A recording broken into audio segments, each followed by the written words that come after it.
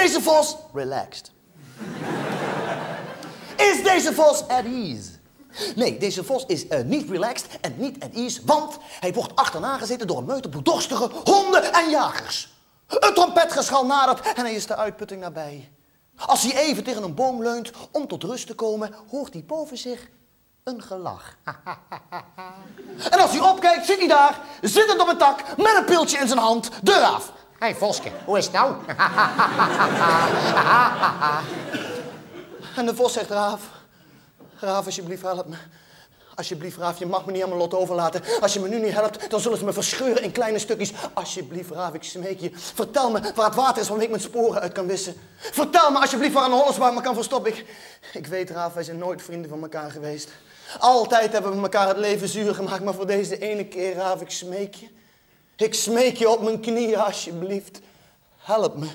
Ja, dikke lul, zei de raaf. En de raaf vloog weg. En de raaf vloog helemaal naar de rand van het bos. Aan de rand van het bos stond een grote boerderij omgeven door velden. En midden op een van die velden prijkte vier een vogelverschrikker. En, en dat was niet zomaar een vogelverschrikker, dat was een van de populairste vogelverschrikkers uit de regio. Zijn naam was Kikker Jan. En een heldendichte werden zijn heldendaden bezongen. Kikkerjan, Kikkerjan, het is een held. Kikkerjan, Kikkerjan, jaagt de vogels van het veld. Kikkerjan, het zegt niet kasten, Kikkerjan is sterk. Weer of geen dag en nacht altijd aan het werk. Kikkerjan, Kikkerjan. Ja. Ja, en weet je, zelfs de vogels hadden respect voor Kikkerjan. En, en ze aten alleen maar de zaadjes buiten zijn gezichtsveld. Behalve de raaf. De raaf die ging altijd uh, vlak voor Kikkerjan staan. En dan zei hij... Uh, hey, hey, Jan. hey, Jan, Mietje. Hey. hey, Jan, verrekte zak hooi. Hey. hey, let op, Jan, zaadje van het veld. Ja, ja, zaadje van het veld. Hoppakee, hop. ja, ja, en nou? En die arme Jan die hing daar. Maar ja, wat, wat moest hij doen? Wat moest ik aan doen? Het was maar een vogelverschrikker, maar hij vertrok geen spier. en, en, ook vandaag, hè, het, het, was weer raar. En de raaf die ging weer de keer. Hey, hey, Jan, la la la la la. maar plotseling, plotseling zag Jan in de vechten een gestalte naderen. En hij knipperde met zijn ogen.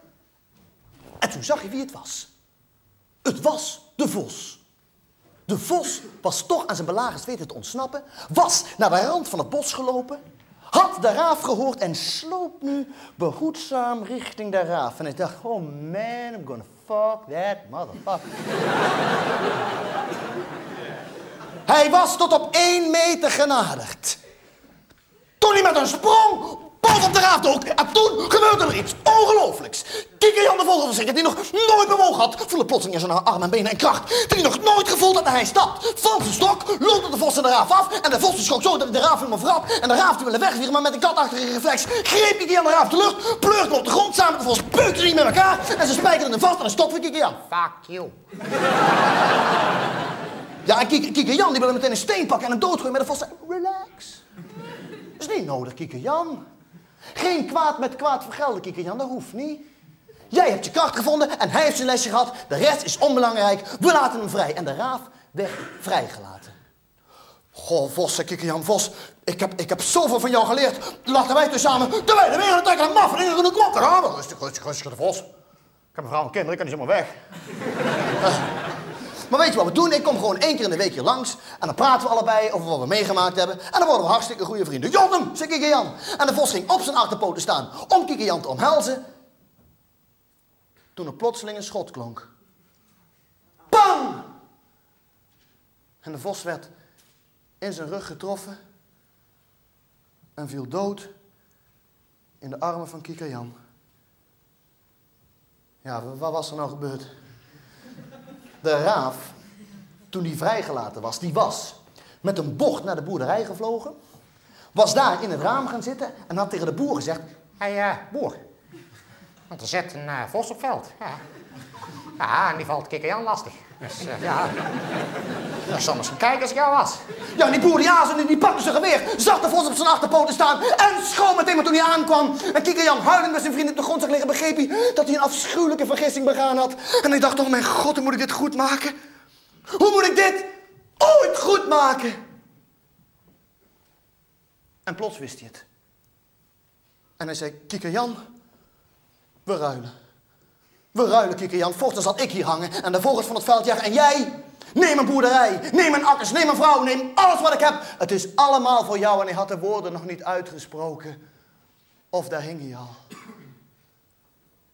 En nu, nog steeds, elke nacht, als de geluiden van rauwe seks uit de boerderij over de akkers waaien. Hangt de boer aan zijn stok en ziet hij de tijd aan zich voorbij gaan. En de raaf leeft nog steeds.